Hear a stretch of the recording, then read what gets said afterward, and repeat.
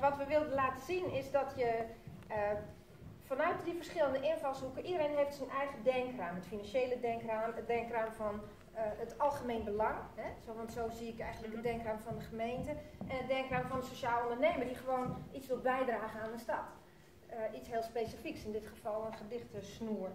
En ehm, ehm, wat je zag in de discussie is dat het van de sociaal ondernemer ongelooflijk veel wordt verwacht. Want je moet, er werd vanuit die paradigma's gezegd, ja, draagvlak, moet draagvlak zijn, want anders dan, kan het niet. En uh, het moet uh, financieel bestendig zijn, want anders dan kan het niet. En je moet dus heel erg veel verschillende capaciteiten hebben als sociaal ondernemer. Je moet een duizendpoot zijn, je moet financieel inzicht zijn, hebben, je moet mensen aan je weten te binden, je moet vertrouwen kunnen wekken, je moet ongelooflijk veel doen.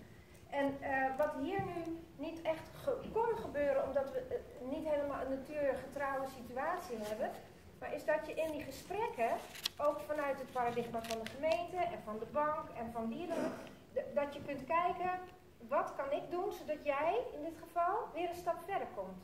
En dat kan heel breed zijn. Um, uh, en, en dat is eigenlijk voor mij in essentie een faciliterende opstelling. En dan ga je elkaar beter verstaan. Dus wat kan ik doen vanuit mijn positie, zodat jij op jouw manier weer een stap verder komt. En, uh, en terwijl je niet zegt, ga jij op mijn manier jouw initiatief doen. Nee, het is jouw manier, het is niet mijn manier. Ik zou het heel anders hebben gedaan. Uh, maar het is jouw manier. En ik ga er eigenlijk ook niet over, want jij gaat het gewoon doen. Maar kan ik iets bijdragen vanuit mijn positie, zodat jij weer een stap verder komt. Het is echt krachten bundelen. Dat is het mooie. Je laat iedereen in zijn waarde, zowel de financiële sector als de bewoner. Je laat je hun waarde. Je kijkt waar de kracht is. En dat breng je samen voor, de gemene delen, de win-win, waar, eigenlijk, waar we het nu ook over hebben. Ja.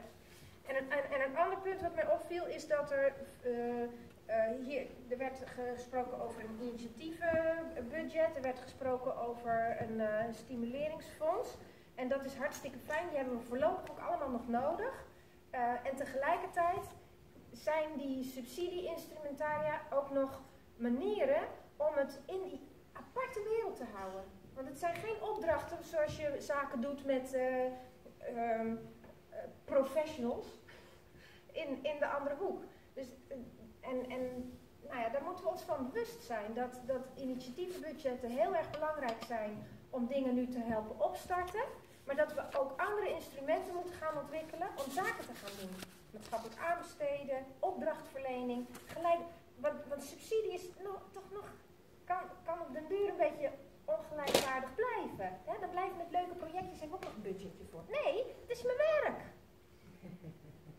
Ja, volgens mij, je zegt twee dingen volgens mij is het laatste wat je zegt uh, een, een, opgave voor ons allemaal, voor de hele maatschappij, om te gaan zoeken naar nieuwe manieren om maatschappelijk te kunnen ondernemen in plaats van dingen vanuit subsidie te doen. Ja. En het andere wat je zei is misschien een mooie om, uh, om jullie mee uh, te bedanken en naar huis te sturen vandaag. Kun je op zoek gaan naar als er wat voor initiatief is om je heen, wat jij vanuit jouw eigen rol kunt doen om de ander verder te helpen.